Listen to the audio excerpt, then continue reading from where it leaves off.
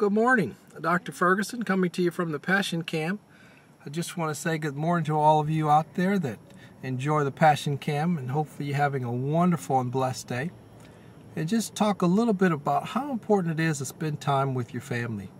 You need to make time to do that. You need to carve out some time to do that and, and not get so busy that you don't stop and have some time of fellowship and times when you could get together and have a good time, talk to each other and share with each other. You know that's such an important thing to do that you play together that you pray together do things activities together plan some events together with each other.